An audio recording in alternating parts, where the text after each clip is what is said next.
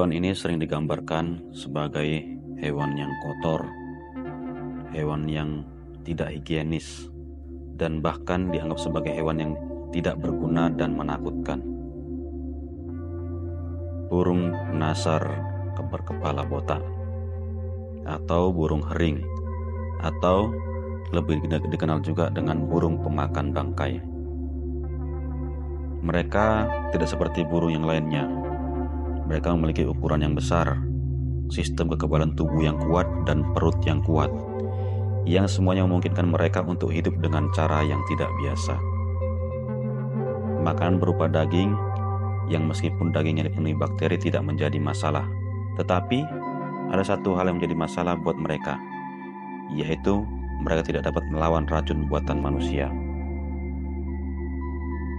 Hewan pemulung biasa didefinisikan sebagai hewan apa pun yang memakan bahan organik yang membusuk. Berbagai hewan digolongkan ke dalam burung pemulung seperti burung nasar, burung gagak, dan burung camar. Mamalia pemulung seperti hiena, anjing hutan, rakun, dan rubah. Juga makhluk laut pemulung seperti belut, kepiting, dan lobster, serta serangga seperti kecoa dan lalat juga termasuk hewan pemulung. Banyak dari mereka seperti hiena akan berburu jika ada kesempatan dan juga beberapa predator seperti singa, serigala akan berburu jika ada kesempatan. Jadi, perilaku pemulung mereka lakukan jika tidak ada makanan lain yang tersedia dan biasanya merupakan pilihan terakhir. Kebanyakan hewan memerlukan nutrisi penting dari sumber tertentu dan tidak bisa fleksibel dalam pola makannya.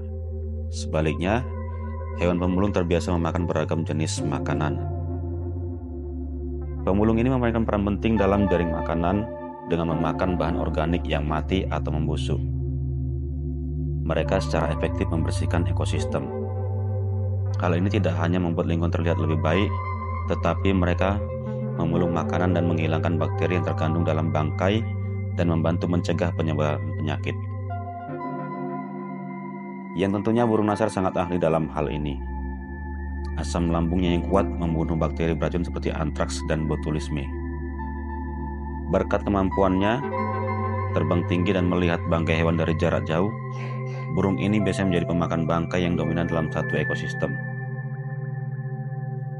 Di Afrika, burung nasar membersihkan hingga 70% dari seluruh bangkai. Tetapi sayangnya di seluruh dunia populasi burung nasar berada di bawah ancaman. Dari 23 spesies yang ada, tiga spesies terancam punah, dan sembilan spesies lainnya sangat terancam punah. Salah satunya adalah burung kondor California ditemukan di Amerika Utara. Sisanya disebut burung nasar dunia lama yang ditemukan di Afrika dan Eurasia. Faktanya, dibandingkan dengan semua burung di seluruh dunia, jumlah burung nasar dunia lama menurun pada tingkat yang mengkhawatirkan. Salah satu penyebab utamanya adalah karena mereka diracuni di Amerika tahun 1990-an. Di Asia Selatan diperkirakan 90% populasi burung nasar dimusnahkan oleh obat diklofenak. Sapi mati yang mereka makan telah diberi obat yang sangat beracun bagi burung nasar. Di seluruh Afrika, terutama di selatan dan timur, juga sekarat dalam jumlah besar. Data resmi menunjukkan bahwa lebih dari 16.000 telah diracuni sejak tahun 1960-an. Kadang-kadang disengaja, kadang-kadang tidak disengaja. Burung-burung ini mengkonsumsi hewan yang diduga telah diracuni oleh obat-obatan yang diberikan kepada ternak. Petani atau penggembala lain sering meracuni ternak mati untuk mengusir predator bahaya seperti singa. Namun, terkadang pemburu liar sengaja meracuni hewan buruan mereka untuk mencegah burung nasar berkumpul dan menunjukkan posisi mereka. Pada tahun 2013, 500 burung nasar mati di Namibia setelah memakan bangkai gajah yang diracuni oleh pemburu liar.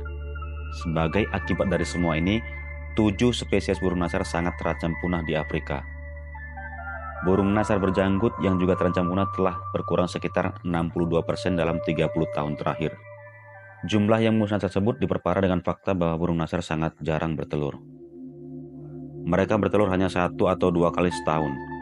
Dengan begitu, sedikitnya keturunan tentu sulit untuk memulihkan populasi. Tapi, Tentunya ada cukup banyak pemakan bangkai lain untuk mengambil alih posisi burung nasar dalam jaring makanan. Ya, memang ada. Tapi di situlah salah satu masalahnya. Terletak peran penting lainnya yang dimainkan oleh burung nasar, yaitu secara tidak langsung mengendalikan populasi pemakan bangkai lainnya dengan mengurangi jumlah makanan yang tersedia. Dan seperti yang kita lihat sebelumnya, beberapa dari pemakan bangkai ini juga merupakan predator seperti hiena atau singa yang dapat mengancam manusia dan ternak. Banyak dari mereka juga menyebarkan penyakit karena hanya sedikit spesies burung dapat membunuh bakteri yang sama efektifnya dengan burung nasar. Jumlah kasus rabies pada manusia di India meningkat drastis ketika populasi burung nasar menurun. Disebabkan anjing-anjing liar yang mengambil alih tugas nasar, mereka justru mengais dan menyebarkan penyakit. Burung nasar tidak hanya menghilangkan bakteri beracun dari ekosistem, tetapi mereka juga makhluk yang sangat bersih. Kepalanya yang botak mencegah daging busuk menempel pada bulunya dan jatuh di tempat lain. Mereka juga buang air kecil di kaki mereka untuk mendinginkan dan membersihkan bakteri. Tanya, burung nasar sangat penting bagi ekosistem, sehingga mereka dikenal sebagai spesies kunci. Keracunan bukan satu-satunya hal yang membunuh burung nasar di Afrika dan Eurasia. Kincir angin dan saluran listrik menyebabkan kecelakaan fatal karena burung nasar cenderung melihat ke samping daripada lurus ke depan. Dan Perdagangan daging burung nasar terutama kepala dan kaki yang digunakan dalam pengobatan tradisional juga berkontribusi terhadap penurunan tersebut. Masalahnya adalah masyarakat tidak begitu memahami nilai sebenarnya dari burung nasar. Sebuah survei menemukan bahwa 75 dari para responden menganggap mereka sebagai hewan kotor. Di lapangan telah dilakukan upaya konservasi meningkatkan kesadaran dan mencoba mengubah citra burung nasar dan sebagai hasilnya, beberapa wilayah seperti Masa Mara di Kenya telah mengalami penurunan insiden keracunan sekitar 50% sejak tahun 2018. Ada juga inisiatif global seperti Hari Internasional Kesadaran Burung Nasar yang bertujuan untuk meningkatkan kesadaran di antara orang-orang yang biasanya tidak berhubungan dengan burung-burung ini. Upaya lain untuk melindungi burung nasar termasuk menciptakan zona aman dan program penangkaran untuk melepaskan burung kembali ke alam liar. Dan di seluruh Afrika, Eropa, dan Asia, rencana aksi multispesies bertujuan untuk mengembalikan populasi burung nasar dunia ke tingkat yang lebih baik pada tahun 2029. Rencana ini memberikan panduan kepada lebih dari 100 wilayah berbeda dalam membuat rencana konservasi spesifik. Lokasi dan spesies termasuk beberapa strategi-strategi baru. Upaya-upaya sudah dilakukan namun jumlahnya masih menurun dan jalan yang ditempuh masih panjang. Mereka mungkin mengalami masalah citra negatif namun, burung nasar adalah burung unik yang berperan penting dalam jaring makanan yang mereka makan. Tidak ada hewan lain di planet ini yang dapat atau menginginkannya dan berkontribusi pada lingkungan yang lebih aman. Jika kita ingin menjaga planet kita tetap sehat, sangat penting bagi kita untuk menyelamatkan mereka.